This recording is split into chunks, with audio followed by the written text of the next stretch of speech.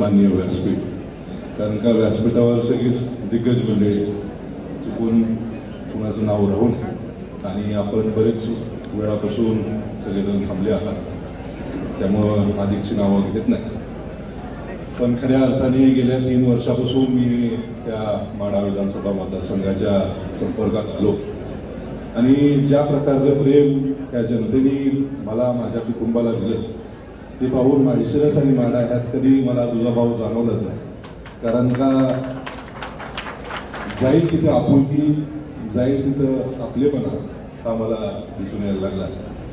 आणि आपण बघतोच की मागच्या लोकसभेमध्ये आदरणीय धैर्यशील वयांसाठी प्रचार करत असताना तालुक्यातल्या सगळ्याच नेते मंडळींनी अतिशय मनापासूनचे प्रयत्न केले आणि आपण सगळ्यांनी मिळून त्या तालुक्यातनं जवळपास बावन्न हजाराचं मताधिक्ष आदरणीय भैयांना दिलं.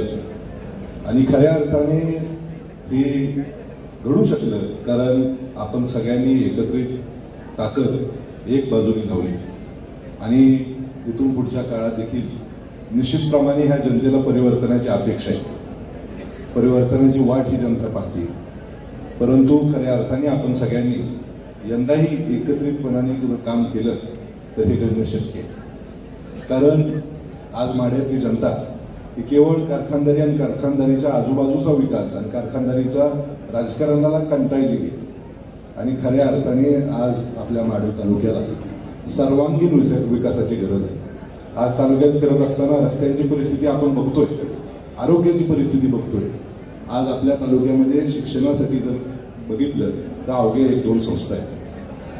मी परवा दिवशी पंढरपूर म्हाडा आणि माळशिरस या तिन्ही विभागाच्या जिल्हा परिषद शाळेचे विद्यार्थी किती आहेत मोजले तर पंढरपूरमध्ये जवळपास वीस हजार विद्यार्थी हे जिल्हा परिषदच्या शाळेमध्ये शिक्षतात म्हणजे खऱ्या अर्थाने शिक्षणाचा अभाव किती मोठा आहे हे त्या आकड्यातनं आपल्याला दिसून येतं. आणि निश्चितप्रमाणे आदरणीय विजयदादांच्या माध्यमातून काम करत असताना इथून पुढच्या काळामध्ये आपल्या तालुक्याचा सर्वांगीण विकास कसा होईल यासाठी निश्चितप्रमाणे आपण सगळ्यांनीच प्रयत्न करायचा आहे.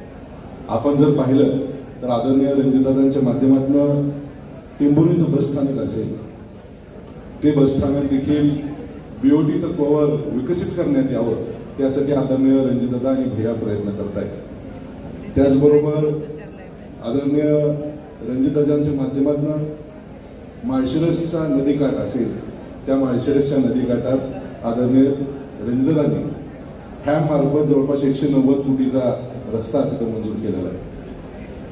आदरणीय देरशील भैयांनी माग उदय सामंत साहेबांना भेटले.